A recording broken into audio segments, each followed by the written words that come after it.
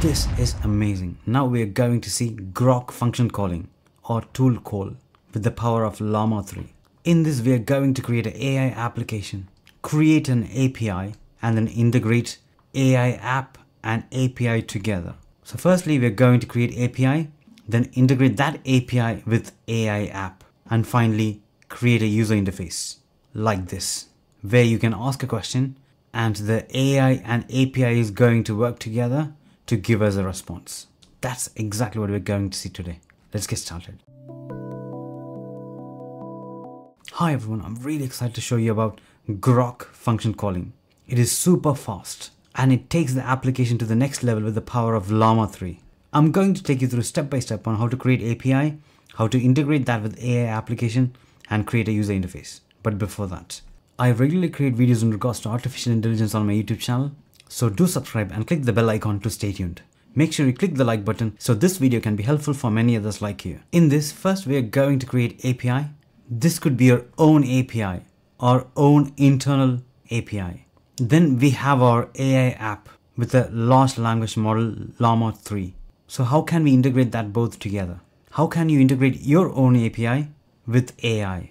First, conda create hyphen and groq python equals 3.11 and then click enter. In this way, we are creating a virtual environment which doesn't distract or disturb other projects. Now we are going to activate groq virtual environment by typing conda activate groq. Next, pip install groq, gradio, requests and flask and then click enter.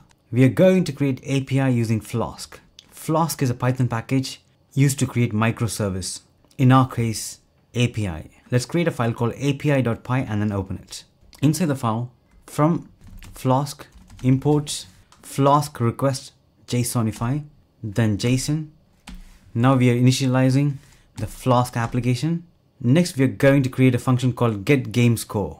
This will automatically check for the team name and return the score for those teams. This could be your own data or database. If the user provides the team name is Warriors, then it will get this data and send this to the large language model. This is very basic so that everyone can understand. Next, we are going to create an endpoint. Endpoint is nothing but a URL. In our case, it's slash score. Next, we are creating a function called score. Here we are getting the team name and based on the team name, we are running the function that is get game score function that is here and returning the data based on the team name. Finally, we are going to start the application using app.run. That's it. Literally three bits of code and we have created a Flask API. Now I'm going to run this code in your terminal, python api.py and then click enter. Now you can see the API is ready and it's running in this URL. So if I go to this URL, you'll see a page like this. But when we go to slash score and provide the team name question mark team equals Lakers then it's getting information from our API. If I change this team name to Warriors and it gave the information about Warriors. So now the API is ready. Now we need to integrate this API with our AI application. Even in our terminal we can see the log. We checked for Lakers and we checked for Warriors. Now we're going to keep this terminal running. Let's open a new terminal. Let's activate our Groq virtual environment, conda activate Groq. Let us export Groq API key like this and then click enter. Now let's create a file called app.py and let's open it. Inside the file from Groq, import Groq, then OS, JSON, requests. Next we are going to initialize Groq and get the Groq API key from the environment. Next we are defining the model name that is Llama 3 70 billion parameter model. Next, we are going to create a function called get game score. There we are going to mention the exact URL where we created our API and the team name as variable. Next, we are going to use get request to extract the data from the API and finally return the data. That's it. So this is where you integrate your AI application with your API. Now next step, we're going to create a function called run conversation. There we are going to mention the list of messages. One is the system message. You are a function calling LLM and then user prompt. This is where we're going to ask a question. asking what is the score for Warriors or Lakers. Next, we need to define the tool, the tool definition. This is the tool which we have created and we need to tell the large language model what this tool can do. So after the messages, we are adding tools. Type function, we are mentioning the function name, that is the tool name, get game score, and the description is get the score for a given NBA game. And the only required field is team name. After this, we need to call the Groq API. So response equals client.chat.completions.create. There we provide the model name, the messages. That is the prompt which we initialized earlier. Next, the list of tools. We are providing one tool which is capable of getting the score for the NBA game, tool choice, auto, and max tokens. Next, we need to get the response and check if the tool call is initialized or not. So response message equals, then we are getting the message output and checking if a tool call is initialized. For example, when the user asks a question, give me score for warriors, then the Llama 3 Groq model is going to tell that I don't have the score for warriors, but I have a tool to find the answer for your question. That's when the function calling or the tool call is initiated. Then it's passed to the tool. That's when we run the function to get the response from the API to get the score. Then we will send the score back to the large language model and we'll get a final response.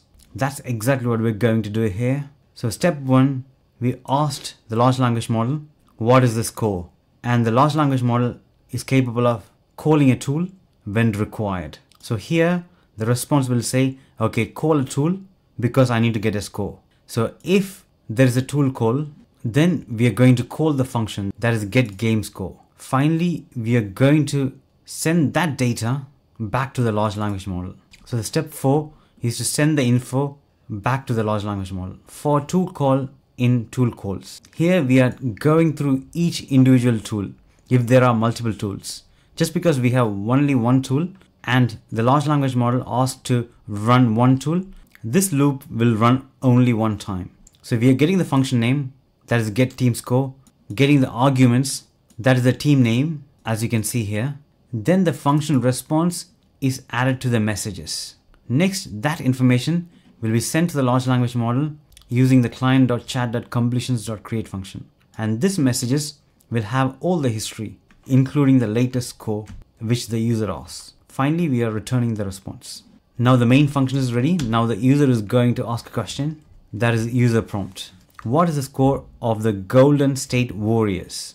Next, printing the response by calling the run conversation function. That's it. So as a quick overview, get game score is the tool. So that is a function calling our API. You define the function calling definition or the tool definition. So here we are telling the large language model what this tool can do and what is the required field. And we are asking the question to the large language model. Step number two, we are checking if a tool call is required for the question.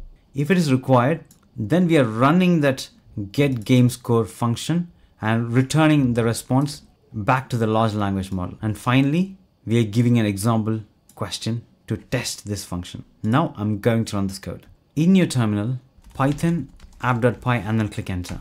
Now we got the answer here According to the latest game data, the Golden State Warriors played the Los Angeles Lakers and won with a score of 128-121.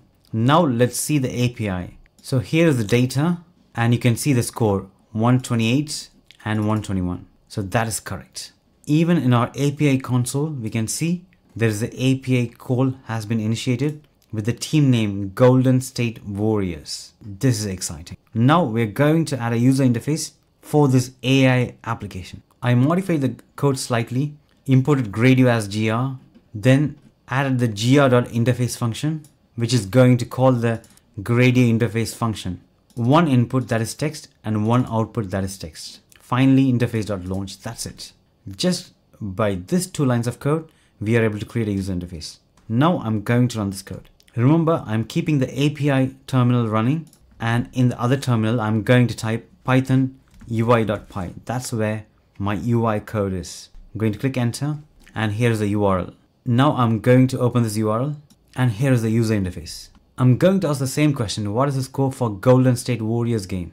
And click submit. This will automatically use the API through the function calling method and finally we get this answer in a split second. That's the power of Groq. I'm really excited about this. I'm going to create more videos similar to this. So stay tuned. I hope you like this video. Do like, share and subscribe and thanks for watching.